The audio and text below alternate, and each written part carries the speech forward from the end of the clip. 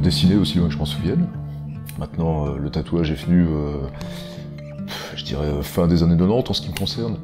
J'ai commencé en 97, j'ai rencontré un tatoueur, étant à l'Académie des Beaux-Arts, enfin Saint-Luc Liège, où je dessinais, je faisais de l'illustration. Donc je me suis retrouvé un peu dans ce milieu, attiré, curiosité, techniques différentes. J'ai répondu à une annonce où quelqu'un cherchait quelqu'un pour dessiner des flashs pour un tatoueur. On a eu une complicité intéressante, quoi, puis j'ai très vite tatoué. Après trois mois de, de rencontre avec ce tatoueur, je me suis retrouvé derrière des machines.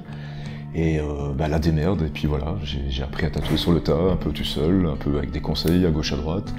Et puis euh, j'ai décidé d'ouvrir mon shop, de me lancer dans l'aventure. Et je suis venu dans cette petite ville de Oui parce qu'il n'y avait personne à l'époque, on était en plein boom de tout ça, ça démarrait.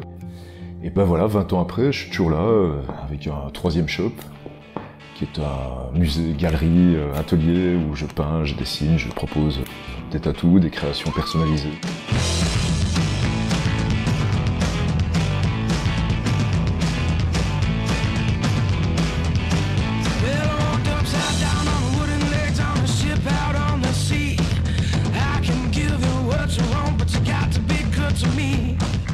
J'essaye d'innover à chaque fois. Quand je travaille un tatou, j'essaye de, faire quelque chose qui soit vraiment une pièce unique, avec une identité propre par rapport à la personne qui me demande un sujet particulier.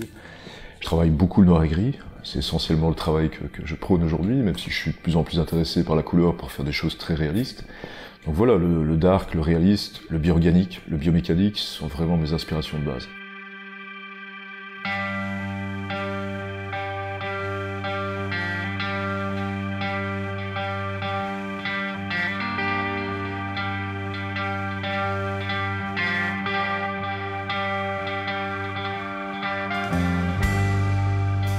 Peinture est un processus beaucoup plus intimiste pour moi. C'est-à-dire que je peins parce que j'ai besoin de peindre. C'est quelque chose qui me permet de m'exprimer intimement. Et je travaille essentiellement la technique de l'aérographe parce que c'était euh, une des plus grandes inspirations, si pas un mentor. Moi, je, parle de H.R. Giger, qui m'a donné l'envie de travailler l'aérographe. Aujourd'hui, je reprends beaucoup le pinceau parce que j'aime assez bien aussi travailler des huiles et des choses un peu plus en texture et en matière de peinture, mais l'aéro reste une principale partie de mon travail. Inspiré par euh, beaucoup de choses, beaucoup d'artistes aussi, hein, comme euh, Egon Schild, Klimt, euh, toute cette période allemande que j'ai beaucoup aimé au début du siècle, avec ces gens qui exprimaient une certaine douleur à travers le corps, mais en, même temps une certaine réalité, parce qu'on passe tous par des moments plus difficiles que d'autres.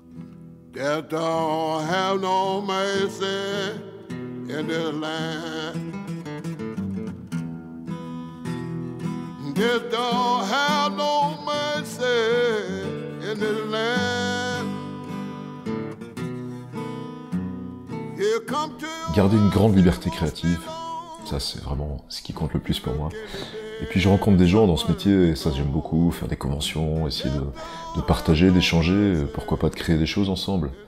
Voilà, tout ça ce sont des choses qui font partie de ma vie et qui sont peut-être euh, la philosophie que je mets en route chaque jour. La motivation aussi, et, garder, garder le cap, à essayer d'être soi, le plus euh, sincère possible, avoir une identité artistique.